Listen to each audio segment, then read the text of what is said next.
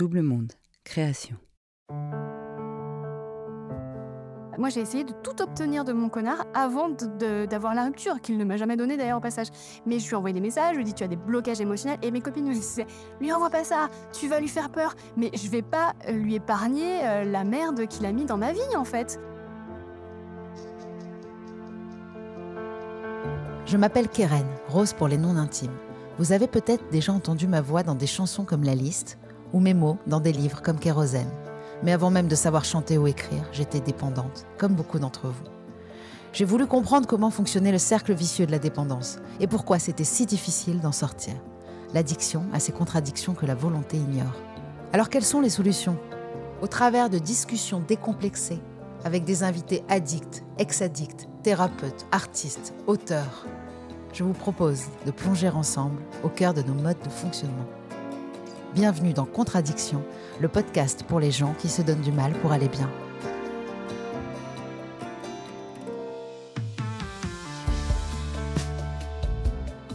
Et pour ne pas en manquer une ligne, rendez-vous sur les réseaux sociaux de Rose, de Double Monde et sur le compte Instagram Contradiction Podcast.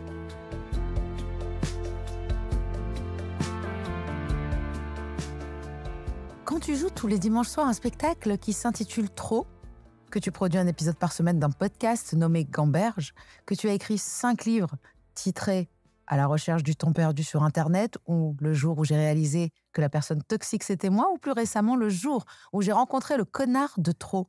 C'est difficile de cacher que tu fais partie de la grande famille des dépendants. Ce qui fut plus compliqué pour moi à saisir, c'était de savoir à quoi elle était addicte. En lisant son dernier ouvrage, j'ai été servie. Était-ce les comédies romantiques, les tartes tatin imbibées de crème, Insta, Tinder, Appen ou Raya? Était-ce les coachs ou les cartes anciennes de TikTok? En fait, c'était tout à la fois. Mais il y avait un dénominateur commun qui se démarquait aisément, et c'était l'amour. Amour avec un grand A, comme attention, ça va faire mal. L'amour qu'elle ne parvient pas à se donner, l'amour dont elle a manqué, l'amour qu'elle va chercher partout où c'est possible de ne pas le trouver, l'amour qu'elle voue au connard et en particulier à un. Sauf que Christine Bérou est extra lucide. Elle sait pourquoi, elle sait comment, et elle nous l'explique à la perfection. Mais ça ne l'empêche pas de souffrir. Et c'est ça l'addiction, savoir, mais ne pas pouvoir. Mais qu'est-ce qu'un connard?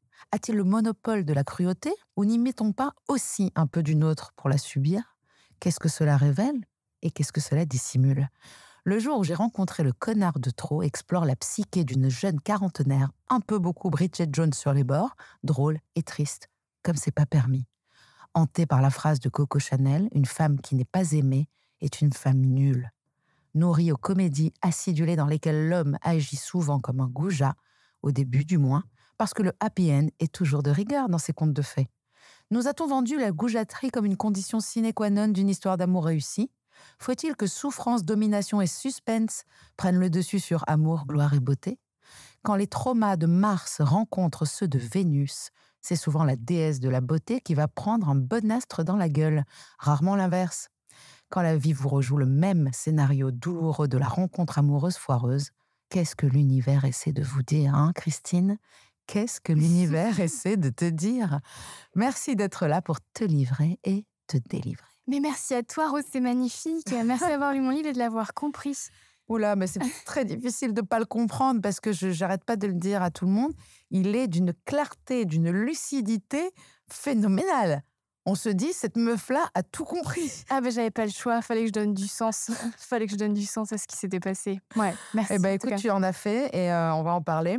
D'abord, j'ai l'habitude de demander à tous mes invités quelle définition ils donneraient de l'addiction, comme ça à brûle pour point oh, Je dirais c'est un dysfonctionnement euh, qui te fait passer à côté de ton destin, je dirais ça. Qu'est-ce que tu en penses? Waouh, c'est parfait. Alors, j'ai lu dans un livre euh, de Geneviève Krebs, intitulé La dépendance affective, qu'une personne dépendante affective vit dans un sentiment de manque et de vide intérieur qui l'angoisse en permanence. Le degré de dépendance est relatif à sa capacité à gérer seule la solitude. C'est sorti chez Erol. Alors la dépendance affective à ce type d'homme, donc les connards, parce que c'est ça que tu revendiques, euh, est-ce que c'est différent des autres dépendances affectives d'après toi? C'est drôle, on a échangé hier et tu m'as dit on va parler de la dépendance affective et j'étais mal à l'aise avec ce terme parce que je me suis dit ça rejette encore la faute sur moi euh, c'est moi qui ai un problème, c'est moi qui suis dépendante affective. Alors que si j'en suis arrivée là, et présentement avec cet homme que j'appelle chez Guevara dans le livre, c'est que déjà j'ai grandi dans une famille dysfonctionnelle, donc à la base là c'était pas de ma faute. Et ensuite j'ai rencontré des hommes, celui-là en particulier, qui s'est mal comporté et qui évolue dans une société où on permet ce genre de comportement parce que tu sais, on dit suis-moi je te fuis, suis-moi je te suis. Euh, il faut laisser l'homme euh, être comment dire attiré par toi, donc tu dois jouer le mystère, tu dois pas lui montrer que tu es intéressé parce que un homme veut ce qu'il ne veut pas. Donc en fait, évidemment qu'on devient dépendante affective parce que déjà on a eu des parents qui étaient maltraitants et ensuite on rencontre des mecs qui se comportent bah, comme on leur dit qu'ils sont censés se comporter en fait, c'est-à-dire euh, nous balader et puis parce que c'est ça être viril et parce que je vais pas lui montrer mes sentiments et parce que je suis je vais pas lui répondre et comprendra. Qu'est-ce que tu en penses? Ouais, J'aime bien que tu me demandes à chaque fois qu'est-ce que j'en pense, parce qu'il faut savoir que j'en pense toujours des choses. Et que, en effet, tu n'es pas coupable, mais la culpabilité n'est pas la même chose que la responsabilité, c'est-à-dire que le fait qu'on ait souffert, toutes les raisons qui nous poussent à consommer quoi que ce soit, il faut savoir que ce n'est pas de notre faute, donc on n'en est pas coupable. Mais après, il y a cette part de responsabilité de se dire, j'ai agi de cette façon-là parce que j'ai eu ces traumas, qui fait aussi que je vais tomber dans des pièges et des panneaux euh, parce que tu parles de red flag. On va parler après, après de tout le champ lexical que j'adore. Euh, bah, D'ailleurs, on va en parler. Euh, il y a un vocabulaire de Jones un peu qui finalement succède au MeToo parce que tu as envie aussi de dire voilà, on peut pas intenter une action en justice contre ces mecs-là, mais il y, a tout un vocabulaire qui montre que ce mec-là est quand même une sale ordure. Euh, on a euh, donc le fait de ghoster. non, mais c'est vrai parce qu'on a le droit. Mais ouais, j'entends mon fils qui dit je la ghost, mais moi ça me révolte. Qu'est-ce que c'est ghoster? C'est genre en fait devenir un fantôme ou alors elle la rendre fantôme, c'est quoi? C'est ne pas accorder du crédit au sentiment de l'autre, se dire euh, en fait masquer sa lâcheté derrière une assurance que ça se fait déjà, et que la société rend ça possible. Bah, le mot existe, donc déjà ça se fait. voilà, et que c'est pas si grave. Et donc on est encore dans le cercle de ce que j'appelle abus, minimisation de l'abus. C'est-à-dire qu'en fait, l'abuseur va minimiser son abus. Et en ghostant, en fait, il se dit non, mais c'est pas si grave, elle comprendra. Et en fait, ce cercle vicieux, abus, minimisation de l'abus, chaque victime va se reconnaître et va le reconnaître. C'est en fait à chaque fois, que ce soit un parent maltraitant, euh, que ce soit un connard, que ce soit un agresseur sexuel, il y aura toujours abus, minimisation de l'abus. Et si c'est pas l'agresseur qui minimise l'abus, c'est la société qui le fera. Et là, on s'en rend bien compte euh, dans les médias, dès qu'il y a une affaire euh, MeToo qui sort, c'est ah, elle fait ça pour sa carrière. oui, bien la sûr. Amber Hart, minimisation. À ah, toute façon, c'est une connasse. Ah, bah, de toute façon, minimisation de l'abus. Le ghosting, c'est la minimisation de l'abus, en fait. Mmh. Mais en fait, ce que j'aime dans ton livre aussi, c'est quand même tu te mets souvent à sa place. Tu cites d'ailleurs Cher connard de Virginie Despentes souvent. Moi, j'ai beaucoup, beaucoup aimé ce livre. D'ailleurs, il m'a beaucoup apporté parce que justement, parfois, il faut se mettre de l'autre côté et imaginer que la personne qui fait ce genre d'horreur, en fait, elle est malade aussi. Donc, je ne dis pas qu'on minimise, attention. Et encore une fois, ça ne veut pas dire ne pas être responsable de ses actes. Mais il ne faut pas oublier qu'il y a toujours deux versions des faits. Donc, toi, il y a toi qui est en train de te préparer, qui est canon, et lui qui te pose un lapin. Et qui regarde mes stories pendant qu'il me pose un lapin. Est-ce que chez lui, il est en train de se dire, bon, fatigué, elle doit être aussi fatiguée, ou est-ce qu'il est en train de se dire, je vais lui faire ça pour ça? C'est ça aussi. le connard, est-ce que c'est quelqu'un qui fait sciemment des choses pour que tu souffres? Bah, T'as remarqué que dans le livre, il y avait tout le temps une double lecture. Oui, c'est-à-dire, je suis moi-même dans l'abus et minimisation de l'abus. C'est-à-dire que je décris l'abus et après, je minimise moi-même l'abus en lui trouvant des excuses. Oui. Et c'est un fait que je lui ai trouvé un milliard de blocages émotionnels. Et vraiment, je lui ai tracé un portrait. vraiment, mais tout ça, ce ne sont que des suppositions. Mais oui, mais j'aimais bien ces suppositions parce que ça, si il avait des blocages émotionnels, ça voulait dire déjà que j'étais la sauveuse, ça me donnait un, un rôle hyper valorisant. que tu n'étais pas folle. Et que j'étais pas folle, que j'étais pas en train de me faire balader, parce que c'était un scénario qui ne, me, ne pouvait pas me convenir, en fait, en vérité. toi qui fais des, épisodes extraordinaires euh, sur le cerveau, tout simplement, quand on rationalise, c'est qu'on veut justement réduire la dissonance cognitive, c'est-à-dire qu'on se fait maltraiter et que ça nous va pas, ça nous rend triste. Donc, qu'est-ce qu'on fait? On trouve des excuses parce que finalement, ah bon, ça va, c'est quand même peut-être pas moi, quoi. Euh, après ghoster, on a l'orbiting. C'est quand même merveilleux. L'orbiting, c'est quelqu'un qui te plante des rendez-vous, qui répond pas à tes messages, qui, bah, qui ghost, hein, mais qui quand même reste en mais périphérique. qui veut liker une photo de toi, de préférence un portrait, pour flatter ta beauté. Enfin, c'est-à-dire, en fait, c'est il veut t'avoir sous le coude. Oui. C'est-à-dire que c'est des hommes qui ne, qui ne veulent pas t'avoir, mais qui ne veulent pas t'avoir. Qui ne veulent pas ne pas t'avoir non Voilà, c'est-à-dire, ils veulent le beurre et l'argent du beurre. Et c'est extrêmement cruel parce que, euh, bon, je vais spoiler le livre, mais à la fin, moi, il me donnait pas de rupture, ce connard. Donc, en fait, je lui ai tendu la perche. Je lui ai dit, dis-moi euh, ce qu'il en est, si si on arrête, si on continue Et il m'a répondu euh, Non, non, tu me plais toujours. Oui, et c'est la dernière fois que j'ai eu de ces nouvelles. Par contre, un mois plus tard, il a, il a posté, enfin, il a liké une, une photo de moi où j'étais un portrait. Donc, euh, pas plus personnel et pas plus euh, engageant que, que de liker une photo de toi. Enfin, je voilà. Encore faut-il accorder un crédit à ce genre d'action. Tu vois ce que je veux te dire? Je pense encore une fois, moi, je veux toujours prendre ma responsabilité dans le truc et me dire lui, c'est un connard Maintenant, c'est à moi de ne pas accorder de crédit au fait qu'il ait mis un pouce sur quelque chose. Tu vois ce que je veux dire? Ah Et euh, en fait, ce livre, il nous fait vachement réfléchir sur notre responsabilité, je trouve. Alors, tu dis en partenariat avec l'Orbitique, je trouve ça extrêmement drôle.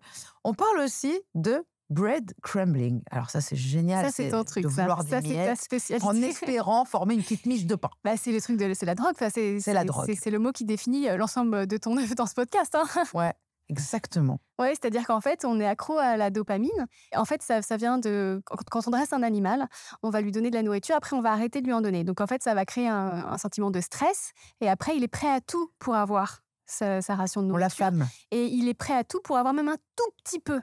Et euh, je raconte notamment un dîner avec euh, mon connard, où en fait, j'étais folle de joie qu'il ait regardé la coque de mon iPhone. Oui, tu, tu dis, il a retourné mon téléphone comme ça et je me suis dit, oh là là, il m'apporte un peu d'attention. Il s'intéresse à la coque de mon iPhone, puisqu'il faut savoir que hum, chez Guevara, donc mon connard, euh, ne me posait aucune question sur moi. Donc le truc qui regarde, ça l'intéresse de savoir ce que j'ai mis comme coque sur mon iPhone. J'étais folle de bonheur.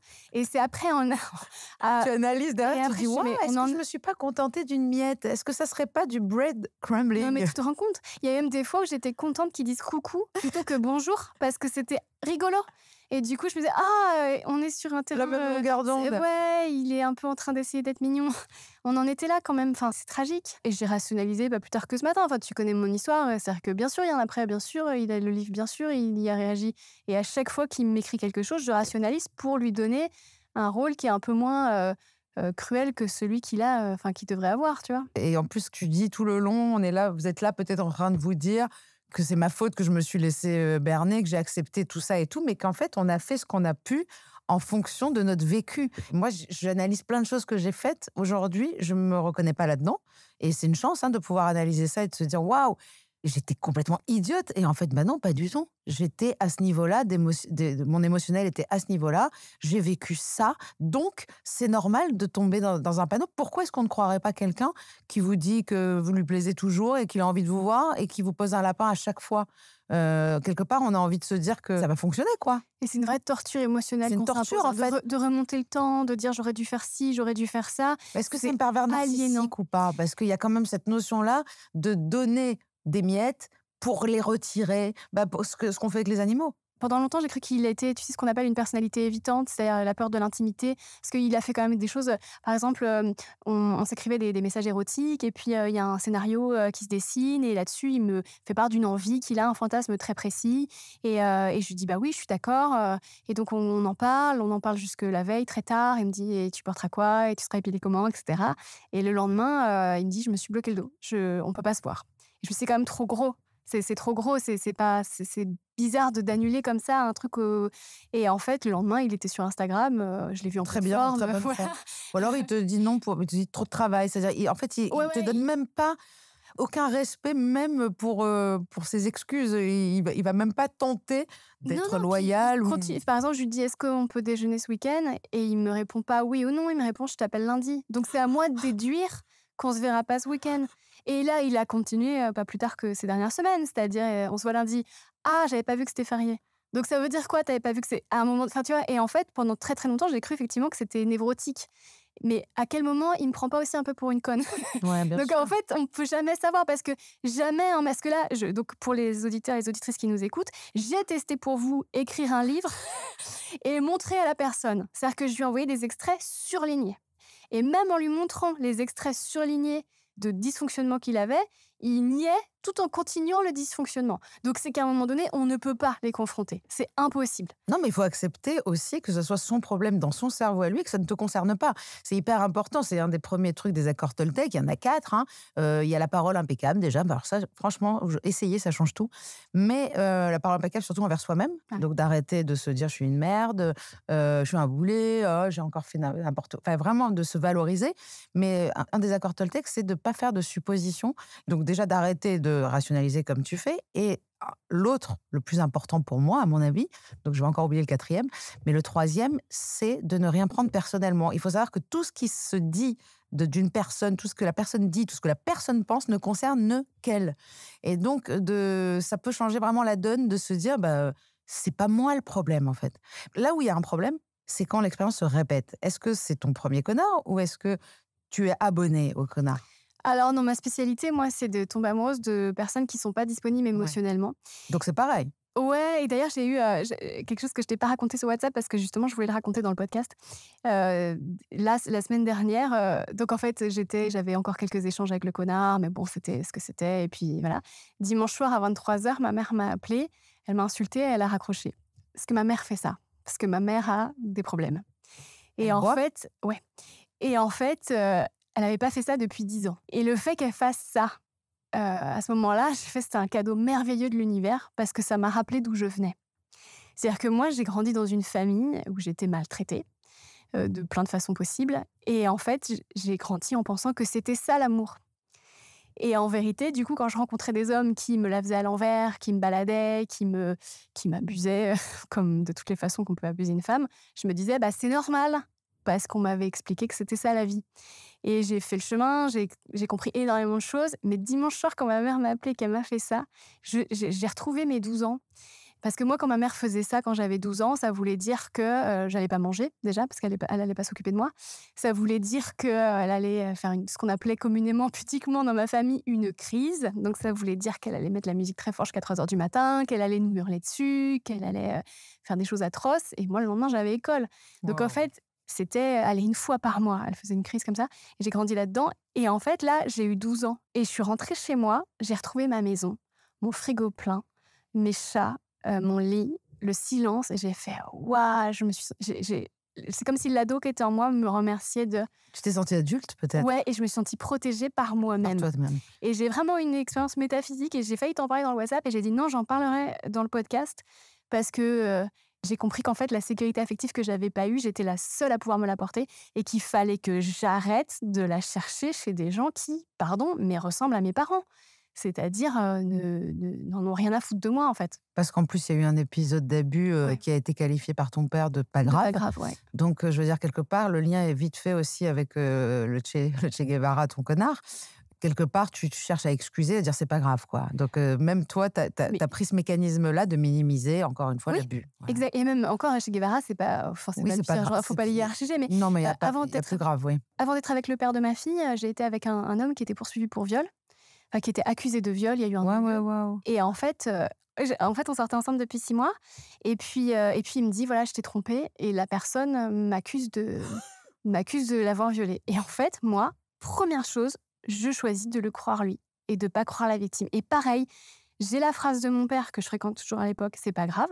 Donc je me dis c'est pas grave. Si moi ce que j'ai vécu c'est pas grave, ce qu'a vécu cette personne qui poursuit l'homme que j'aime, c'est pas grave. Et en fait, je me suis dit, mes, mes copines m'appelaient Anne Sinclair à l'époque parce que c'était pendant l'affaire DSK. Et comme Anne Sinclair avait soutenu DSK, moi je soutiens cet homme-là. Et en fait, euh, je me dis, euh, je suis la femme courage. Euh, oh là là, c'est. Enfin bref, parce que aussi ne pas écouter. Avis, il a pris cher Strauss-Kahn à la maison. Hein. Ouais, je pense. Elle soutenait parce qu'il fallait, mais. Ah, tu m'étonnes. Mais en fait, en disant que ce qu'avait vécu cette personne, c'était pas grave, j'essayais de donner raison à mon père. Et en fait, ce qui est intéressant dans cette histoire, c'est que je me suis dit, de là, notre couple va devenir tellement solide, ça va être merveilleux, etc. Du jour où j'ai pardonné, où je l'écoutais euh, me raconter sa garde à vue, euh, où je le soutenais, où je disais je suis là et tout, il ne m'a plus jamais respecté. C'est-à-dire c'était un homme qui, dès qu'il buvait, m'insultait de ce jour, alors que les six premiers mois, il était adorable. Parce que j'étais devenue quelqu'un qu'on peut abuser, en fait. Et je suis restée avec lui après ça deux ans et demi. deux ans et demi à, quand il était bourré, l'écouter me dire euh, Tu sais que très bien que si tu me quittes, tu rencontreras personne. Euh, à dire des trucs atroces, à parler de. À la limite, le connard, c'est le, le moins connard. Enfin, je veux dire, ça, c'est un vrai pervers narcissique, violeur. Enfin, c'est. Donc. Euh, on ne sait pas, il y a eu un non-lieu, mais bon. C'est plus léger, le connard. C'est quelqu'un vraiment qui, qui fait vraiment des choses irrespectueuses et qu'on ne peut pas accuser. Et moi, je pense que tu as raison. On a le droit de dire que cette personne-là euh, est violente et euh, abusive, même s'il n'y a pas viol, euh, même s'il n'y a pas coup. Aujourd'hui, les mots et la façon de gérer justement les, les, fameux réseaux sociaux, parce que Moi, ce qui m'a étonné quand même, c'est ta parfaite autonomie quand tu dis là, tu rentres chez toi, ton frigo est plein et tout, tu racontes comment tu as refait ta salle de bain.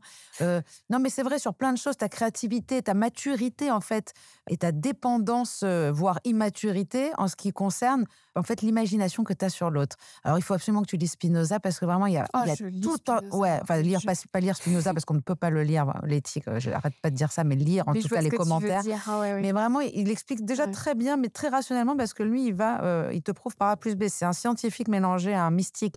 Il te dit clairement que l'amour, quand euh, tu deviens, quand la personne en face est devenue euh, un peu soumise, euh, se transforme en haine. Il le dit clairement. Donc l'autre personne va haïr parce que la personne en face est soumise. Donc déjà, il y a ce mécanisme-là que les deux veulent en fait. Et c'est pour ça que je parle de responsabilité.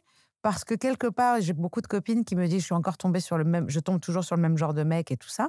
Il faut savoir qu'il y a la responsabilité de la personne qui tombe sur le même genre de mec, mais le mec aussi, il a un radar à personne qui a vécu ces traumas et qui va pouvoir manipuler sans vergogne.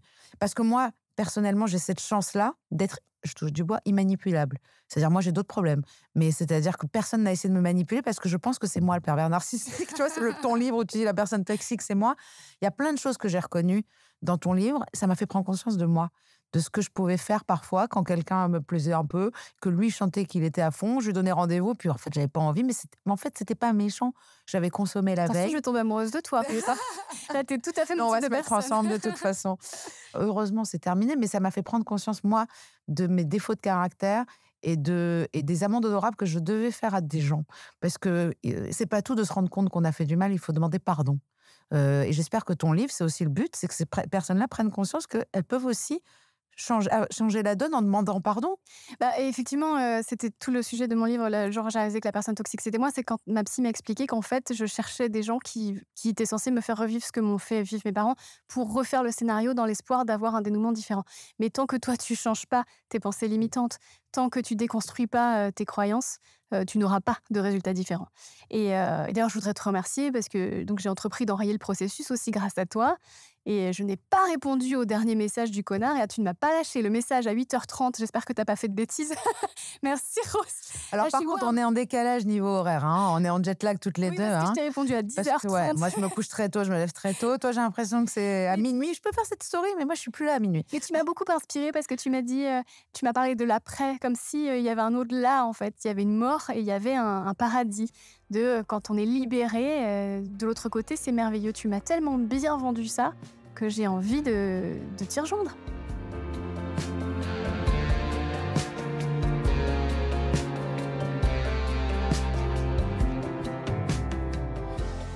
En fait, quand on est addict et qu'on consomme, euh, que ce soit euh, qu'on consomme euh, Un connard. un connard, mais c'est au-delà de ça. Tu consommes la souffrance. Ouais. Tu vas compulser dans la souffrance. Parce que tu le dis hyper bien, cette histoire de d'algorithme du cerveau qui est comme l'algorithme d'un réseau social. Le cerveau, il te dit Ah, elle aime bien se faire souffrir. Et bah, tiens, je vais lui envoyer ça, ça, ça, ça, ça. Et en fait, il faut changer l'algorithme. Et, et et notre cerveau, il nous met dans une espèce de mode survie. C'est-à-dire, tu n'es pas en vie, tu vis pas. Tu es en survie parce que bah, je connais, moi, quand tu consommes de la drogue et des choses qui te font souffrir, tu es en mode survie. t'es- tu te lèves pas le matin pour vivre. Tu te lèves pour survivre. En dépit de tout le temps. Il y a aussi quelque chose dont je parle dans mon livre, c'est qu'il a été prouvé scientifiquement qu'un humain préfère prendre une décharge électrique plutôt que de s'ennuyer. On a mis des gens dans une pièce vide avec la possibilité de prendre une décharge électrique et la plupart des gens préfèrent prendre la décharge électrique. C'est pour ça quand on a une vie qui est vide de sens, que professionnellement on n'est pas épanoui, qu'on rencontre un connard ou qu'on tombe sur euh, une dépendance, on va préférer souffrir plutôt que de retrouver notre vie qui n'a pas de sens pour nous. Bien sûr. Et moi, je sais que même euh, sans avoir connu des hommes pervers ou méchants, euh, quand une histoire était finie et que parfois tu t'ennuies, en fait, tu relances la machine juste pour avoir ton shoot de dopamine du petit texto qui va arriver. Et c'est vrai que quand tu arrives à te... Alors, la dopamine, il faut la fuir, en fait. Euh, T'en parles à un moment donné d'un sevrage, d'une cure. Oui, le, le-. C'est-à-dire qu'il vaut mieux aller chercher la sérotonine, l'ocytocine, ce sont des hormones de l'amour, de, de, de bien-être. Euh, la dopamine, malheureusement, ça fait beaucoup de bien, mais c'est quelque chose qu'on va être obligé de renouveler sans cesse. Ça fait euh, appel au circuit de la récompense. Et donc, on peut l'avoir avec tout, avec la bouffe, avec euh, la souffrance. La souffrance génère de la dopamine parce qu'en fait, le cerveau se met en mode survie. Et donc, il est en danger. Et comme il est en danger, il est excité. Oui, et on t'en avait parlé dans mon podcast, c'est-à-dire que plus on avance, plus on a besoin de grosses quantités de dopamine. Ça s'appelle la tolérance. Ouais. On, on tolère de plus en plus euh, la dose, donc on augmente. Et enrayer le processus, c'est très difficile. Et c'est vrai que toi, tu m'as beaucoup aidé avec cette phrase. Il, faut croire en quelque chose de plus grand que nous. Parce que mine de rien, quand tu remets un peu ta vie dans les mains de, de- des signes, du destin, des gens qui t'aident, et que tu vois que finalement, euh, il y a quelque chose de plus beau qui t'attend, euh, tu crois ou tu crois pas, dans les deux cas, ça marche en Mhm. fait. En fait, il faut tendre à ça. Mais l'éveil, c'est juste de se rendre compte qu'on fait partie d'un tout, que Spinoza appelle le Dieu, il appelle la vie. En fait, c'est la vie, on est connecté, on est en euh, la vie. En fait, tout est divin puisque tout est vie. Et en fait, se rendre compte qu'il n'y a plus rien qui est grave parce qu'il n'y a pas de bien ni de mal. Il y a juste, est-ce que ça m'apporte de la joie ou pas En fait, Être sa propre Voilà. boussole, OL. Exactement. Et c'est pas du plaisir, attention. hein. Euh, J'adore. De toute façon, j'aimerais citer ton livre partout. euh, il y a- non, mais tu dis des gens meurent en Ukraine, la planète est en train de tout simplement cramer, des migrants se noient. Euh, et moi, ça m'a fait très mal que Che Guevara soit retourné sur Appen. Ah oui, parce que ce connard, donc on passe à un premier encart où là, il me. euh, c'est un mot que j'ai pas encore, que j'avais pas mis parce que je connais pas, c'est le love bombing. Tu connais? C'est-à-dire qu'en fait, tu passes du temps avec quelqu'un qui te recouvre d'amour le premier soir. Dès le début, il te dit des choses merveilleuses et tout pour que tu y crois, puis après, il te. C'est pour mieux te laisser tomber après. C'est-à-dire, en fait, il m'a dit des choses. Parce que, enfin, voilà, il m'a parlé d'enfants, il m'a dit Ah, c'est dommage qu'on se soit pas rencontrés avant parce qu'on aurait pu faire ci, ça, ça, tata. On couche ensemble, le mec me demande de rentrer chez moi. Oui, alors ça, c'est très bien tu t'en rends compte après, parce qu'au début, tu dis, il me propose pas de rester. Et un peu plus tard, tu dis, en fait, il m'a demandé de partir. Et deux jours plus tard, je découvre. Parce qu'en fait, c'était quelqu'un que je connaissais dans le. de- Je l'avais rencontré dans le milieu professionnel. Et ensuite, nous avons matché sur une appli de rencontre. Donc, c'était trop Oui, bien parce un signe. Oui, oui, parce qu'il m'avait vraiment beaucoup. Enfin, j'étais, j'avais complètement craqué sur lui quand je l'avais vu dans. On a, la même, euh, on a, le, le même- le même penchant pour l'accent du Sud-Ouest. hein. Ah, l'accent des sud Moi, c'est-à-dire qu'immédiatement, je, je- ça me plaît immédiatement l'accent du Sud-Ouest. Je sais pas, c'est le côté rugbyman. Je, ouais, ouais, je pense. Et puis grand. Bref, je- on était dans un événement en commun. Moi, je faisais des blagues et lui faisait d'autres trucs. Et puis, euh, je l'ai vu monter sur cette estrade et dire des choses. Et puis, euh, j'étais en pamoison. Et après, je l'ai un peu dragué sur Instagram. Mais bon, ça prenait pas trop. Il m'écrivait de temps en temps. Mais bon, bref. Et puis, on match sur une appli de rencontre. Donc, matcher, ça veut dire qu'il a liké mon profil. Il m'a validé. Le patriarcat m'a validé.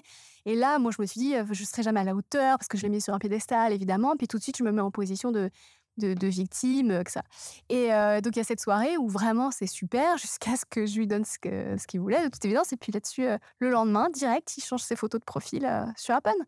C'est-à-dire que moi, je me dis, donc, j'ai pas été assez bien parce qu'on passe une soirée où on projette.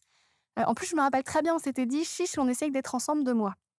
Et il m'avait dit carrément, carrément, on essaye. Et moi, qui reviens de là où je viens, ça, ça met vraiment de, de, de l'huile sur le feu de toutes mes blessures. En fait, tu vas très loin. Tu dis, en fait, il a changé ses photos parce qu'il s'est dit, avec ces photos, voilà ce que j'ai chopé. Il faut que je fasse mieux.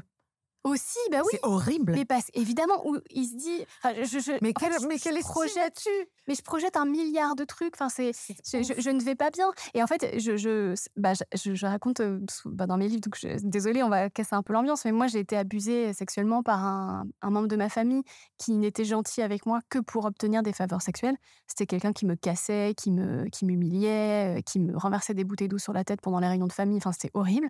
Et qui était gentil avec moi pour obtenir des faveurs sexuelles. Et moi, j'étais jeune, j'étais, enfin, je me disais ah, enfin. T'es à 8 ans, tu comprends pas. Et en fait, euh, il m'a vraiment fait revivre ça chez Guevara. Parce qu'il y a un autre épisode où on, on se voit plus pendant pas mal de temps, et puis il revient, etc. Et puis la première chose qu'il me demande, c'est de venir le sucer dans son bureau. Et là, vraiment, je, je, je, je remonte des, des années en arrière et, et je me dis, ah, c'est donc ça, en fait. Tu le conscientises pas forcément, mais c'est ce que ton cerveau comprend, en fait. Il y a un syndrome de Stockholm quand même, un petit peu. hein. Ouais, je, je peut-être, effectivement. Mais euh, Là, on comprend quand même que tant que toi, tu n'auras pas fait le chemin de guérison et que tu ne seras pas libéré de ce passé, ouais. que ça va se reproduire en fait. Et heureusement, au fil du livre, on comprend quand même que tu avances et, mais- et c'est pas de ta faute du tout parce qu'il y a aussi cette histoire d'imagination débordante que tu as été obligé de créer. Euh, en fait, tu as été obligé de t'inventer des, des choses. Euh, souvent, les enfants qui ont été abusés ou qui ont vécu des choses dures, ils se dissocient, ils arrivent à partir dans des mondes euh, ailleurs. Et donc, quelque part, toi, on voit dans ce livre qu'en fait, tu imagines tout sauf, sauf le fait que ça soit un connard, en fait. Complètement. Et, et j'ai aussi écrit ce livre parce qu'une femme sur cinq euh, sera ou a été agressée sexuellement dans sa vie, d'accord? Ouais. Et en fait, c'est- donc je voudrais aussi prévenir les hommes en fait. Quand vous rencontrez une femme, sachez qu'il y a une chance sur cinq pour qu'elle ait été abusée, pour qu'elle ait vécu des trucs atroces. Et c'est cette femme-là que vous allez ghoster. Et c'est cette femme-là que vous allez balader. Vous n'avez aucune idée de ce que vous allez réveiller chez cette personne. Non, mais ils vont chercher, certaines personnes vont chercher les femmes qui ont été abusées, c'est ça qui est fou. Le pervers narcissique, souvent, il arrive à la trouver, mais parmi des centaines de meufs, il la voit. Et la fille abusée, parmi des centaines de mecs, va choisir lui. Donc c'est vraiment un boulot à faire dans les deux sens.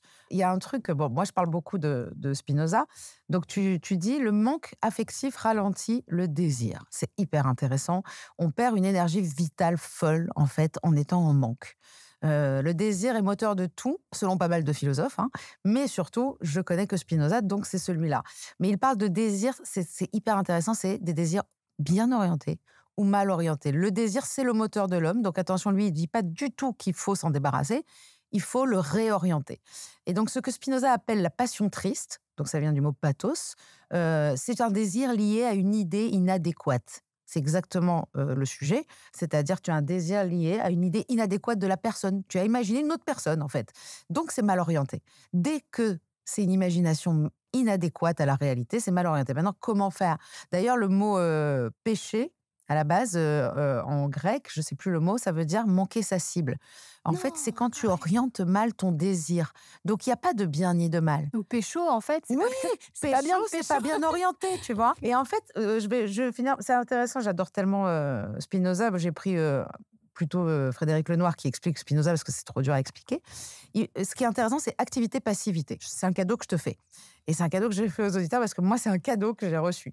La passivité est un état où nous sommes mus par des causes extérieures et des idées inadéquates. Donc, en fait, on se fait codariser, hein, clairement. Euh, dans le premier cas, nous subissons, d'où le mot passion grec, du mot pathos, car notre affectivité subit une influence extérieure dont nous n'avons pas conscience ou dont nous avons une connaissance partielle ou erronée. Dans le second cas, actif, donc ça c'est la passion active, nous agissons car nos affects proviennent de notre nature profonde, donc il faut écouter son cœur, son intuition, une nature, et sont éclairés par une juste connaissance de leur cause. Euh, Aujourd'hui, c'est ça pour moi, prendre sa responsabilité, c'est essayer de voir la vérité, pas notre opinion. Qu'est-ce que c'est vraiment? Et prendre des avis aussi, de dire, voilà, moi, je suis pas à même de dire, ce mec-là, il est bien ou il est pas bien. Est-ce que je vais prendre dix copines? Si les dix, elles me disent c'est un connard, bah c'est un connard. En fait, il faut aussi euh, faire des sondages. Parfois, tu le fais très bien. hein. Euh, c'est pourquoi la passion produit des joies passives et des joies actives. Nous vivons le plus souvent sous l'emprise de nos passions qui nous apportent des joies passives. Passion passive. Il faut vraiment bien noter ça. Donc provisoire, donc tristesse. Le chemin proposé par Spinoza consiste à s'appuyer sur notre puissance vitale, nos désirs, nos sentiments, et en les éclairant par le discernement de la raison, afin de remplacer nos idées imparfaites, partielles, inadéquates, imaginaires, par une vraie connaissance qui transforme nos affects passifs en affects actifs qui ne dépendent que de nous. Moi, pour moi, tout est dit. Waouh, ah ouais, ouais, c'est très puissant. C'est tout est dit, mais pour la drogue, pour tout. Hein. J'aurais dû te Euh, croiser l'année dernière. non, non, parce que attention, il n'y a pas de foutu pour foutu. C'est pas du tout là aujourd'hui. Chaque jour, tu as l'occasion de changer le cours de ton destin. Et aujourd'hui, si tu comprends quelque chose, euh, moi, tous les jours, je comprends quelque chose qui m'amène un peu plus sur, sur le chemin, tu vois. Alors, qu'est-ce que tu penses qu'aujourd'hui, il avait de plus? Qu'est-ce qu'il a de plus qui t'a fait craquer comme ça? C'est quoi? Ah, je décris dans le livre. euh, ah, moi, je, suis quelqu'un de, très. Tout le monde dit ça. Je suis très sensible. Mais c'est un fait que quand je suis avec quelqu'un, je vais absorber toute l'énergie. Euh, parce que, mais tu sais, ça, c'est. En fait, avant, je pensais que j'avais un don magique. En fait, pas du tout. C'est ma psy qui m'a expliqué. En fait, c'est que j'ai grandi avec des gens tellement méchants que, en fait, avec qui il fallait toujours marcher sur des œufs, que je suis devenue euh, très réceptive au moindre, euh, moindre cliquement des yeux, euh, au moindre haussement de ton. euh, c'est un danger. Donc, en fait, je suis dans l'hypervigilance en permanence. Mode survie. Tu vois, par exemple, là, si je vois que pendant quelques secondes, tu m'écoutes moins, je vais penser que je suis nulle et que tu vas pas diffuser le podcast. Tu vois, non, mais on en est là. Mais parce qu'en fait, c'est ce qu'auraient fait euh, mes parents. Enfin, tu vois, de, de faire des trucs, euh, tu vois, j'ai dit un truc et puis euh, ça part en vrille. Et en fait, chez Guevara, euh, lui, il avait une espèce de, par son métier aussi, une, une aptitude à ne rien laisser transparaître. C'est-à-dire qu'en fait, il était, euh, je, l'appelle le Marc Darcy du terroir. Marc Darcy, c'est dans Bridget Jones. le Marc Darcy, c'est-à-dire vraiment l'homme, l'avocat imperturbable, froid, distant, euh, à qui il est très très difficile d'arracher une expression. Et donc, il était reposant pour moi. C'était reposant d'avoir face à moi une armoire à glace avec un accent du sud-ouest qui. Et en fait, je pense que. Ouais, c'est ça qui m'a plu. Et je pense que je voulais. Euh, ah, C'est marrant parce que tu, là, tu fouilles dans ton sac et je dis merde, là, je suis en train de dire un truc qui l'intéresse pas. Tout justement, pardon. Mais tu sais, je- par exemple, je suis quelqu'un qui. prendre ton livre. Ah oui, les gens, Jacques Truc. En fait, par exemple, là, je- moi, j'ai tout le temps des boules qui dans ma vie, tous les jours. Parce qu'en fait, chaque bruit m'incommode parce que pour moi, c'est pas seulement un bruit, c'est un message. Tu t'es fait tester quand même, on est d'accord que tu as. genre, je je Oh, cherche plus les clichés, hein, mais je veux dire, en tout cas, c'est sûr et certain. Mais- Hypersensibilité, euh, euh, au potentiel aussi. Hein. Mais donc, je. Ouais, Moi, je te le Alors, dis, te fais pas tester.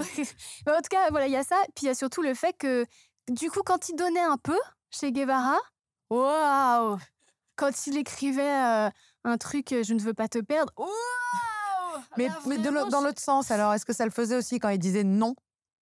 Sans- Euh, sans- Non, parce qu'il le disait pas. J'ai une copine qui dit c'est quelqu'un qui voulait pas euh, ne pas être aimé. Donc il disait c'est aussi pour ça que j'ai jamais eu de rupture parce qu'il voulait jamais dire que c'était Il a fini. quand même dit à la fin qu'il t'avait pas dit parce qu'il voulait pas te vexer. Ah ça c'était au milieu Ah, c'est au milieu. parce ça. qu'après il est revenu. Ah oui, oui. Parce que quand il m'a dit je ne voulais pas te vexer, après moi j'ai dit ok c'est fini. Et il y a eu une phase de grâce pendant un mois où j'allais très bien. Avant l'espoir, après, avant, euh, après, avant le deuil espoir. Ouais. Et, et là il est revenu et j'ai une théorie. Je pense qu'il a reçu l'énergie de je m'en sors sans toi et qu'il n'avait pas fini le boulot et qu'il avait envie que j'aille mal. Et donc il est revenu, il m'a re-achevé et après il est parti pour de bon. Mais ces mecs-là, euh, vraiment, il faut, il faut prendre conscience vraiment que ce n'est pas notre problème. Ces gens-là sont extrêmement malheureux. On s'en fout, hein, je veux dire, je veux pas que tu lui souhaites son malheur, hein, mais je pense que tous les gens qui font souffrir les autres sont les gens qui souffrent le plus. Donc euh, ça n'excuse rien, mais euh, ça explique quand même pas mal de choses parce que euh, chacun réagit à sa façon. Regarde, toi, je pense que honnêtement, j'ai pas rencontré quelqu'un qui avait subi autant de choses. Non, mais c'est pour moi, c'est d'une violence que tu me racontes quand je pense que moi, je me suis mise à me droguer parce que j'ai une petite sœur qui est arrivée. non, mais tu vois, en fait, chacun a sa vision de la souffrance. Et moi, j'ai des parents extraordinaires, j'ai une famille extraordinaire, euh, on m'a toujours laissé faire ce que je voulais. Au début, j'étais là à me dire, mais je m'en voulais tellement d'être une mauvaise personne, d'être ce monstre qui se drogue, parce que je me disais, on m'a tout donné, et regarde comment je suis. En fait, tout le monde a, a- a sa part de d'imagination de, et de responsabilité, encore une fois. Euh, J'adore comment tu expliques les trois types d'amour, c'est pour ça que je cherchais mon livre. Ah, Euh, oui, oui, je en savais très bien métaphore, mais auto-horologique. Mais c'était pour euh, illustrer le fait que je suis parano. C'est pour ça. Tu peux nous les expliquer parce que c'est génial et que c'est très vrai. Le cumulo amo- amorus, le stratus ego et le cumulus cumulon. Est-ce que tu t'en souviens bien? Ah, alors Parce que oui, moi, je vais te le. En fait, ce qu'on dit tout le temps quand on est sur un petit nuage, mais en fait, pas, c'est pas les mêmes nuages. Il y a le cumulo amoureux, c'est le vrai nuage. Ça, c'est quand tu as rencontré quelqu'un qui a une connexion et que tu sais qu'il va se passer instinctivement quelque chose de joli. Euh, Il y a une sécurité affective. Exactement, comme quand j'ai rencontré le père de ma fille, par exemple. Première fois de ma vie que ça m'arrivait. Ensuite, il y a le cumulus ego, ce que toi, tu as peut-être pu vivre quand tu rencontrais des mecs qui étaient un peu à tes pieds. Tu m'expliquais tout à l'heure que du coup, tu leur posais des lapins et tout. Je mais me célèbre. Voilà, tu te c'est Mhm. c'est sur le nuage. En fait, je m'aime, la personne m'aime. Oh là là, que c'est agréable d'être courtisé. Et il y a le plus dangereux, c'est le cumulus cumulon, où là, bah, je te laisse, si tu veux. C'est le petit nuage de la dépendance affective. Alors l'autre ne donne que des miettes, mais chaque miette est source incroyable de bonheur. Tant nous l'attendons avec impatience, on se dit qu'en cumulant toutes les miettes avec un peu de chance, on finira bien par obtenir une miche de pain. C'est le petit nuage sur lequel nous sommes quand il a enfin regardé la bonne story, quand il daigne répondre à un SMS. C'est le petit nuage du mendiant, je l'adore celle-là, qui, habitué à avoir si peu, est transporté de joie pour une petite pièce. Euh, c'est vrai. On a l'impression, en fait, que tu as tout compris. Et pourtant, je ne l'applique pas. Euh, Non, mais c'est pas grave. Tu sais, moi, mon psy m'a expliqué l'autre jour un truc hyper intéressant. Il m'a dit Tu comprends extrêmement vite, ça va extrêmement vite dans ton cerveau, mais tu intègres très lentement. Euh, moi, j'ai commencé le yoga il y a 12 ans. Le yoga est devenu. euh, a pris la dimension qu'il a pris dans ma vie il y a 4 ans, par exemple. J'ai commencé le programme des 12 étapes il y a 3 ans. Et ça fait deux mois que tout m'arrive d'un coup. J'ai l'impression de connaître l'éveil spirituel. J'ai l'impression d'en fait de ne c'est même plus que je ne consomme pas, c'est que je n'ai plus envie de consommer. Ce n'est pas que je ne bois plus ou que je me drogue plus, c'est que je suis heureuse sans et je n'ai plus du tout l'impression de perdre quelque chose. Au contraire, j'ai l'impression de le gagner. Mais ça fait six ans que j'ai arrêté, moi. Et il y a eu des rechutes et des rechutes et des rechutes. Donc je te comprends à 2000%. Il faut accepter qu'on intègre plus lentement et surtout, ça se voit beaucoup qu'on intègre lentement quand on comprend vite. Tu vois ce que je veux Ah, dire? Parce que tu comprends vite, mais le temps de- de- d'intégration, eh ben, des fois, ça vient pas tout de suite. Et comme on a compris très vite, on se dit, mais je suis nul, mais je suis nul. Mais il y a des gens qui comprennent même pas vite. Et il y a un truc qui est hyper important, c'est que tout le long du livre, j'avais envie de dire, putain, mais aime-toi, bordel de merde. Mais aime-toi. parce que ça change tellement, tellement toute la vie. Euh, tu dis toujours, je ne saurais jamais pourquoi. euh, il a disparu, en même temps, il a qu'une story. euh, il m'invite et puis il me pose un lapin. tes amis et toi te répondent tous en cœur parce que c'est un connard. Point barre. Moi, j'ai envie de te dire, c'est aussi un connard qui s'ennuie. Attention. Parce que quand, pour mettre des stories toute la journée, les liker alors que t'as pas envie d'être avec la personne, c'est vraiment que ta vie, c'est de la merde. Oui, ou peut-être aussi, j'ai une copine qui a une théorie, c'est qu'il a, il a envie toujours d'avoir une forme d'emprise et je, je sais pas. Bah après, on pourrait faire un milliard d'analyses, un milliard de théories, mais en fait, effectivement, la, la bonne phrase, c'est parce que c'est un connard et c'est la raison pour laquelle j'ai écrit ce livre. Bah oui, et puis Mm. ta copine, elle a dit une super phrase, c'est que quand le bourreau est dans la pièce, il faut la quitter.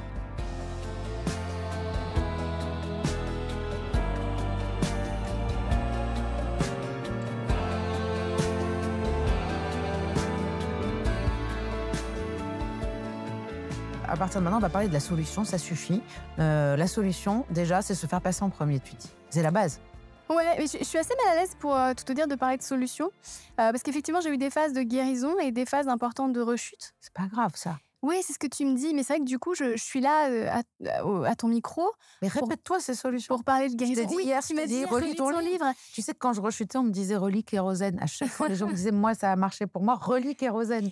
Et en fait, on a les solutions en nous, Oui. c'est pas grave, vas-y. D'accord. Alors, euh, effectivement, donc les solutions que je vais euh, remettre en place. Après, ce qui est intéressant, c'est que, euh, je, te l'ai dit sur WhatsApp, c'est que je- le, là, là, je suis dans une certaine mélancolie, mais en décembre, j'étais au fond du gouffre. Donc, c'est un peu comme les actions en bourse. Quand ça monte, ça monte pas d'un coup. Des fois, ça retombe un peu. Donc là, je pense que c'est juste une petite rechute, mais que bon, bientôt, je vais réintégrer le 440. Voilà. L'escalier. Ouais, c'est ça, exactement. Déjà, moi, je, je, je vais un peu à contre-courant des, des choses qui se disent. À savoir, je, je parle de Rachel dans Friends, avec cette lettre de 18 pages recto verso, qui passe pour quelque chose de comique, alors qu'en fait, elle exprime des sentiments, et c'est normal que Rose ne, que Ross ne, que Rose, c'est normal que Ross adoré. Geller ne lise pas la lettre. C'est comique qu'il s'endorme en lisant la lettre, alors que dedans, elle ouvre son cœur. Et je dis dans le livre, en fait, les hommes attendent de nous qu'on soit, que nos messages soient aussi minces que nos hanches.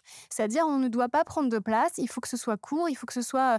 Donc là, moi, je dis. Déjà, première chose, moi j'ai essayé de tout obtenir de mon connard avant d'avoir la rupture, qu'il ne m'a jamais donné d'ailleurs au passage. Mais je lui ai envoyé des messages, je lui ai dit tu as des blocages émotionnels, et mes copines me disaient lui envoie pas ça, tu vas lui faire peur. Mais je vais pas euh, lui épargner euh, la merde qu'il a mis dans ma vie en fait. Je, lui ai expliqué, je lui ai dit tu ne peux pas m'envoyer euh, la, la veille un truc hyper érotique, hyper engageant, et après me ghoster pendant deux semaines. Ce n'est pas Et en, lui disant ça, il y avait une voix qui criait à l'intérieur de moi, tu vas le perdre, tu, tu vas le perdre. C'est-à-dire que je culpabilisais de le mettre face à des dysfonctionnements et à des abus.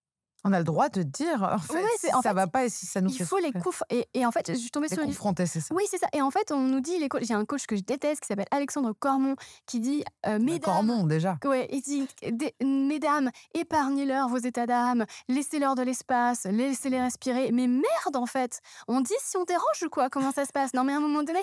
Donc, moi, là, je dis non, il faut vraiment les mettre face à leurs contradictions, leurs connardises. Et c'est aussi leur donner l'opportunité de changer. Parce que s'il y en a quelques-uns dans le lot, je pense qu'ils peuvent changer. Donc, déjà, je dis nettoyer la scène du crime. Obtenir toutes les informations qu'on peut obtenir. J'ai beaucoup aimé ça, nettoyer la scène du crime, c'est-à-dire, ouais, on obtient ce qu'on euh, on a le droit d'avoir des réponses, merde. Ouais, ouais. Et, et moi, j'ai, et pour vous dire, là, j'en reviens un peu parce que j'ai écrit un livre où j'analyse le mec, je lui envoie encore une fois des passages surlignés, il ne comprend toujours pas. Donc, en fait, je suis, je suis, j'ai perdu un peu en optimisme. Mais si on le fait pas pour lui, il faut le faire pour nous. Euh, je- je- en décembre, quand j'étais au fond du trou et que j'ai compris que je m'étais fait balader, je compare ça à Bali, j'avais commandé un guide qui n'est jamais venu. Ouais, ça, ça m'a fait vachement Et- peine, tu vois. Ouais, et t'attends sur Tu donnes un, un- argent fou à un mec, Ouais. tu lui fais confiance et le lendemain, tu l'attends. En plus, deux heures, tu te dis, il est en retard. Bah ouais, et j'attends. Et puis, et puis au bout de deux heures et demie, tu dis Ah, bah je me suis fait escroquer. Tu Mais là, mérites c'est le meilleur des hommes. Toi, c'est ça le pire. Mais là, pareil, j'ai attendu, attendu, puis arrivé mi-décembre, je fais ah bah je me suis fait escroquer et ça fait un mal de chien.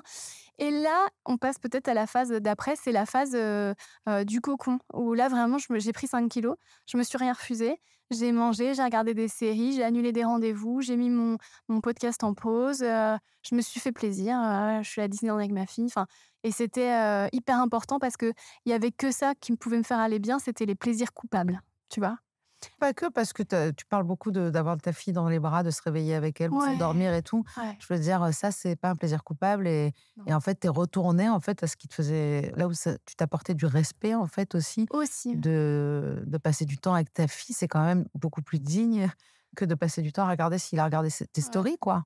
Ouais, surtout qu'il m'avait fait rater des soirées avec ma fille. euh, Oui, parce que t'as pris une babysitter et puis t'annules à Ah 20 ouais, heures, quoi. Ouais, ouais, ça se fait pas. C'est nul. Et, et ensuite, après, bon, le problème de cette étape, c'est qu'elle nous plonge dans un. Après, on devient accro au sucre, on devient accro à- aux séries, etc. Donc là, devient une phase un peu plus complexe, mais là, on se le doit, c'est la détox de dopamine. Où là, on va commencer à, à- à alterner les étapes de plaisir et. euh, et on va commencer à se faire un petit peu violence. Mais ce qui est bien avec cette étape, c'est qu'elle est, ça paye cash. C'est-à-dire que quand vous revenez de votre footing de 30 minutes, vous vous sentez respecté, vous vous sentez bien. Envoyer, ça va commencer par aujourd'hui j'envoie deux mails, euh, aujourd'hui je fais un truc. Euh, moi, euh, je, travaille sur plusieurs projets et c'était tous les jours je fais un petit truc pour le projet. Et mine de rien, jour après jour, ta vie commence à changer et là tu te rends compte que bah, tu n'as plus besoin du pot de glace, tu n'as plus besoin que tout d'un coup tu es en train de construire quelque chose de plus grand que toi. C'est l'opposition entre les plaisirs immédiats et le flow qu'on Ouais. appelle aujourd'hui, euh, souvent dans le yoga ou dans machin. Moi, il y a- des moments de flow où en fait, c'est quand tu, ne, tu perds l'espace-temps. Tu peux passer cinq heures à faire un truc. Vraiment, ça, ça veut dire que si tu n'as pas pensé à regarder l'heure ou si tu n'as pas pensé à manger, à ouvrir le frigo euh, pendant ce temps-là, c'est que c'est le flow, c'est ce moment-là. euh, bah, c'est la grâce. hein. C'est ça. Et ce qui est génial, c'est quand euh, le truc, enfin, le flow vient d'un truc qui t'apporte du plaisir. Moi, par exemple, c'est écouter des livres audio en faisant du puzzle. C'est con, mais j'apprends énormément de trucs et je fais du puzzle en même temps et ça C'est me. marrant. ça. Euh, Audrey, ma, ma, ma community manager, écoute des podcasts et, et en, en faisant des puzzles tout le temps. Elle a, elle a commencé ça au confinement. Ah, bah, c'est- en fait, ça s'explique euh, scientifiquement. C'est en fait, ça endort les deux parties de ton cerveau. C'est qu'en fait, tu, tu occupes ton cerveau droit et ton cerveau gauche. C'est-à-dire que tu as une activité manuelle et une activité intellectuelle. Et donc, en fait, tu es endormi. Et, et ce qui est formidable avec cette activité, c'est qu'après, tu as écouté un livre audio. Donc, en fait, tu es enrichi On d'un n'en parle enseignement. pas, tu sais. Je suis à quatre livres audio par semaine. Ah, bah, je, je te comprends. Sans parler Bah, des podcasts. hein. Tu vas me conseiller. Euh, on passe à retrouver l'estime de soi, non? Ouais, c'est ça. Mais en fait, euh, bon, c'est un tout. Je, je dis, on peut alterner les étapes. euh, Bah oui, en même temps, tu n'es pas en chacun- train d'écrire le code de. Non, non, mais, mais c'est des choses qui m'ont aidé. Puis on y revient tout le temps. Moi, j'ai eu une phase, par exemple, février-mars, ça allait super bien. Euh, J'allais plus voir les stories. euh, bon, lui, je regardais quand même, il regardait les miennes, bref. Et en fait. faut euh, arrêter ça. Moi, je ouais. ne vais pas pouvoir te t'écouter je parler je de ça longtemps, tu le sais. je sais, Il je sais. faut arrêter Oui, ça. La vie, t'as quel âge j'ai- bonheur ne peut pas dépendre de s'il regarde une story ou pas. Ce n'est pas possible. Mais en revanche, je pensais que j'allais bien. Et le matin d'aller dédicacer mon livre pour la presse à la maison d'édition, j'ai pas pu me réveiller. Enfin, j'ai pas pu me lever parce que j'étais paralysée du cou au bassin. Euh, ça, c'est quand même fou. C'est-à-dire qu'en fait, mon corps avait euh, préparé quelque chose. Et mon corps avait un message qu'il gardait enfoui depuis plusieurs semaines. Je pense qu'il avait prévu de faire ça depuis longtemps pour me faire passer un message. Et donc, je n'ai pas pu. Donc, euh, on a dû décaler tous les envois presse, etc. Et c'est fou ce qui s'est passé parce que ça m'a obligée à rester alitée pendant trois jours. C'est le père de ma fille qui est venu s'occuper de moi parce que je pouvais même pas appeler les pompiers parce qu'ils n'avaient pas les clés. Et je peux te dire que quand ton ex, bon, ça va que c'était euh, mon ex le plus gentil, euh, t'aide à aller aux toilettes, là, tu passes vraiment un cap dans ta vie en termes de- d'estime de toi. C'était vraiment. On a ce point-là, on a ce point commun-là, c'est d'avoir choisi un père, un, un homme bien Pour, le, pour le père de notre enfant. C'est-à-dire que j'ai pas rencontré que des, des, mecs bien, des, gens fiables. C'est surtout ça mon problème, moi, c'est de pas tomber sur des gens fiables. Où tu sais que tu vas pas te reposer sur eux. Enfin, tu vois, de- des gens peut-être pas assez généreux de leur personne. Moi, c'est vraiment ça mon connard à moi. C'est le mec qui finalement pense plus à lui, mais, mais je lui en veux pas, dans le sens où c'est pour moi, je pense que c'est une tristesse de ne pas être généreux. Mais le père de, de mon fils, waouh, Il n'y a pas de hasard. Non. Envie d'ovuler pour eux. Ah c'est vrai, hein. tu me donnes envie d'ovuler. Mais après, bon, bah, la vie a fait qu'on n'était plus amoureux, mais on est très amis. Et c'est marrant parce que du coup, euh, c'était la première fois qu'on était commencé à séparer tout de suite après la naissance de ma fille? C'était la première fois qu'on était tous les trois à la maison. Et du coup, c'était marrant parce que. Elle a aimé ça, bien sûr. Euh, oui et non. C'est-à-dire, elle comprenait pas, elle aimait bien avoir son papa pour elle toute seule et sa maman pour elle toute seule. Et d'avoir tout ça en même temps, c'était très. euh, Comme quoi, on- ça nous a permis de vérifier que Ouais. finalement tout allait bien. Finalement. Mais surtout, ça m'a obligée à, tu vois, par exemple, regarder une série et après regarder un autre épisode parce que j'avais que ça à faire, en fait. Et je me suis dit, on aurait dit que mon, mon corps voulait qu'on se prépare aussi à la promo du livre, qu'on. Qu'on allait te poser beaucoup de questions et qu'il fallait que tu aies les réponses aussi. Ouais, ouais, et que tu- complètement. Que Dieu, en fait, on va plus se mettre dans des états pareils pour un homme. Puis surtout, j'étais très, très stressée à l'idée que, que mon connard reçoive le, li- le livre, le lise. Et euh, j'étais terrorisée. Enfin, c'est normal. Euh, On s'est rencontrés à ce moment-là Ouais. à l'émission Piquante exactement, ouais, avec Nicole. Ouais. Et à la fin, de, bah, faut retrouver son estime, donc du respect, prendre la leçon. En fait, c'est c'est très important de savoir que les- c'est vrai que souvent les événements se répètent. et que les épreuves reviennent à toi tant que tu n'as pas compris quelque chose. Alors, on veut parler d'univers ou pas, mais moi, je pense que même sans y croire, c'est ça arrive tout le temps. Quand tu te dis, «Ah, c'est toujours la même chose, bah oui, en fait, si tu veux que quelque chose change, il va falloir changer. Si tu veux que quelque chose qui ne t'est jamais arrivé dans ta vie arrive, il va falloir faire quelque chose que tu n'as jamais fait dans ta vie. C'est Oh. obligatoire. Ouais, le chagrin d'amour est une aventure intellectuelle. Ah, mais c'est obligatoire. Je pense qu'on doit tous traverser ce genre d'épreuve. Chacun son épreuve. Il y a pire, il y a mieux. Je pense que toi, tu les as traversées avant les épreuves et, qu'aujourd'hui, il faut que tu te dédouanes totalement de cette souffrance-là. ça a l'air facile à dire, quoi. Mais tout s'est passé comme cela devait se passer. Le truc qui est, pour moi, hyper important, c'est qu'on n'est pas responsable de ce qu'on a vécu, mais de ce qu'on en a fait. On a invité Melchior Capitolin, mon psy, qui est extraordinaire et qui nous a donné une phrase qu'il a reprise et, et réarrangée à sa sauce un petit peu. C'est je suis ce que je fais de ce qu'on a fait de moi. Voilà. Et ça, c'est quand même quelque chose d'extraordinaire parce que c'est ça qu'il faut faire, c'est se rendre justice à soi-même aussi. Bah, c'est valider la gravité. Ça, c'était beaucoup le sujet de mon, Oui. mon précédent livre. C'est-à-dire que souvent, en fait, quand on subit un préjudice, bah, déjà, le bourreau va sûrement pas valider la gravité de ce qu'il vous a fait subir, mais les proches aussi. C'est pas dans leur intérêt de valider la gravité de ce que vous avez subi. Quand mon père me dit, quand j'ai dit à mon père que j'étais abusée et qu'il me dit c'est pas grave, euh, c'est aussi parce qu'il a pas envie de cette réalité et que ça l'intéresse pas d'aller là-dedans. Donc, en fait, il me dit c'est pas grave. Il utilise son autorité paternelle. J'avais 20 ans à l'époque pour me faire taire parce que c'est pas contre moi, c'est pour lui en fait. Donc en fait, si vous, vous ne validez pas la gravité de ce que vous avez subi, personne, ne le votre fera place. à votre place. Mm. Et donc c'est pour ça, moi, ma mère qui m'appelait pour m'insulter, je rigole maintenant quand elle fait ça. Quand j'étais petite, euh, personne ne validait la gravité de ça. Moi, je pensais que dans toutes les familles, c'était comme ça. Et donc maintenant, je valide la gravité et je dis, bon, bah, c'est pas bien et c'est- problématique. Et là, il va falloir qu'on se protège. C'est drôle que tu parles de ça parce que j'ai validé la gravité de quelque chose qui n'avait rien de si grave euh, aux yeux des gens, mais que je ne savais même pas moi que ça avait été grave pour moi. Et grâce à, pas mal de, choses, je m'en suis rendu compte. Et c'est sorti d'un coup en séance d'auto-hypnose. Euh, je me suis mise à pleurer, à sangloter pendant une demi-heure et à pleurer ma grand-mère, en fait, euh, qui m'a élevée jusqu'à 7 ans. Vraiment, c'est comme ma mère et qui est décédée euh, quand j'avais 7 ans. Et comme je ne m'en souviens plus, je m'étais jamais posé la question de savoir si elle m'avait manqué ou pas. Genre, j'en parlais jamais à aucun de mes psys. J'avais fait tellement de choses. Et c'est arrivé euh, quand j'ai eu mon cancer du sein, en fait. Ça a surgi en thérapie. Et j'en avais jamais parlé. hein. Pour moi, ça n'existait pas parce que je m'en souvenais pas. Et en fait, petit à petit, en discutant avec ma mère, de dire mais voilà, mais comment j'étais à ce moment-là, elle nous a tout raconté. J'ai compris en fait ce qui s'est passé. J'ai perdu ma première maman à 7 ans et demi et c'est extrêmement souffrant parce qu'en fait, en plus, je ne m'en souviens pas. Je peux même pas me rappeler le son de sa voix. Et ben, j'ai eu besoin de valider, valider la gravité de ça. Pas pour dire ah, pauvre de moi, pas du tout, de me dire bah tu vois, finalement, tu as souffert. Et, euh, et c'est bien de le savoir et que les gens. Et ma mère l'a reconnu. Elle m'a dit c'est vrai, vous souffriez énormément. Euh, voilà, bah, je raconte ma vie, mais c'est vrai que Ah, ça, ça a changé ma vie. C'est il y a à peine quelques mois. Donc Et ça. quelqu'un pourrait te dire, ah ça va, t'avais 7 ans, c'est pas grave. Et puis surtout, on dit, bah, il y en a qui ont perdu leurs parents, il y en a qui ont été violés, il y en a. Mais c'est pas grave, c'est chacun. on a le droit de. En fait, il n'y a pas de, de monopole de souffrance et surtout, il n'y a pas d'échelle. Il n'y a sûr. pas d'échelle. On souffre ou on souffre pas, en fait. Et la partie inconsciente, elle regarde pas l'actu. La partie inconsciente, elle connaît pas l'histoire des autres. La partie inconsciente, elle a son, sa propre cartographie. Et oui, elle perd quelqu'un. Oui, euh, voilà. voilà. Et toi, toi, toi, je pense que ce qui s'est passé, c'est que tu t'es perdu toi. Et qu'à un moment donné, euh, tu as décidé de devenir un peu invisible. Euh, et, et voilà ce que je ressens de ton livre, de t'excuser d'être là, euh, tout en faisant ce métier que tu fais ex- excellemment. Mm. Donc, euh, je m'excuse d'être là, mais en fait, par le biais de l'humour, tu t'autorises à exister, tu vois. C'est génial, déjà, de le faire comme ça, je pense. Ah, je dis tout le temps que ma vocation m'a sauvée, hein, parce que la, volonté de, bah, de faire rire, mais surtout d'écrire et de théoriser, c'est surtout ça, était tellement plus forte que tous mes traumas que ça m'a sauvé la vie. hein. Ça a été ma bouée de sauvetage. euh, euh, ma vocation artistique, ça a été parce que s'il n'y avait pas eu ça, aujourd'hui, je ne sais pas quel métier je ferais, mais je serais dans un bureau et, je pense que je transcendrais rien du tout. Et je pense sincèrement que je mettrais fin à mes jours, hein, vraiment. C'est horrible de dire ça, mais c'est ça qui m'a sauvée. Mais ce qui m'a sauvée aussi, c'est d'avoir une fille, et enfin d'avoir un enfant, que ce soit fille ou garçon, parce que je me suis rendu compte que c'était grave ce que mes parents m'avaient fait, parce que j'ai compris que moi, ce que j'ai subi, je pourrais jamais le faire subir à ma fille. Et ça, ça a été un- une grosse étape.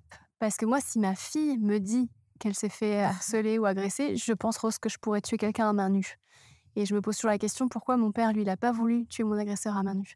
Et donc, de là, j'ai forcément mis le doigt sur un truc qui n'allait pas. Et maintenant, j'ai décidé de m'aimer comme j'aime ma fille et d'être la mère que j'ai pas eue. Tu vois, c'est-à-dire que maintenant, euh, bah, je, je prends soin de ma fille. Elle a à manger, elle a un toit, elle a des activités, elle a des conversations. Et bah, du coup, je, je m'apporte exactement la même chose, puisque de toute évidence, c'est comme ça qu'on élève quelqu'un, élevé dans tous les sens du terme.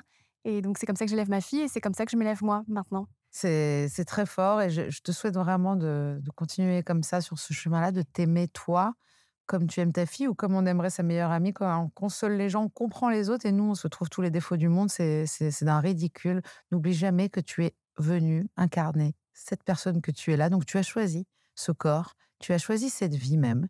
Voilà ce que je pense euh, de l'incarnation. Et donc si tout ça est là, c'est qu'il faut en faire quelque chose. Tout à fait. Et je Et te euh, tu nous fais des beaux cadeaux avec le jour où j'ai rencontré le connard de trop, le spectacle trop. Trop. On est d'accord qu'il y a beaucoup de trop? Et tu sais, je crois que le dernier chapitre de ce livre, c'est ce podcast. Parce que mine de rien, je, pense qu'il faut donner du sens et, faire des, célébrations. Mais je pense qu'avec un podcast, en étant avec toi, en parlant aux gens, je, je célèbre la fin de cette histoire, en fait. C'est Ah ça bah, que j'ai décidé ce matin Et levant. continue à gamberger euh, sur ton podcast parce que moi, ça me Et fascine. tu nous as fait un, un épisode magnifique. Je te remercie parce que je te renvoie tout ce que. Enfin, toi aussi, enfin, je veux dire bravo euh, pour toi pour euh, ta vie, ton œuvre. Mais, c'est du- toi, c'est aussi, tu, toi aussi, tu reviens de l'apocalypse. Attends, Bah à un moment donné, euh, célébrons-nous, quoi. on a trop Euh, de chance d'avoir connu l'apocalypse, tu sais. Et, euh, Cette les- phrase de David Bowie que tu m'as dite l'autre jour, elle est elle est magnifique. magnifique. La religion, c'est pour les gens qui ont peur de l'enfer et la spiritualité, c'est pour les gens qui en reviennent. Bam. Mais surtout, les ailes des papillons ne poussent pas sur le dos des chenilles.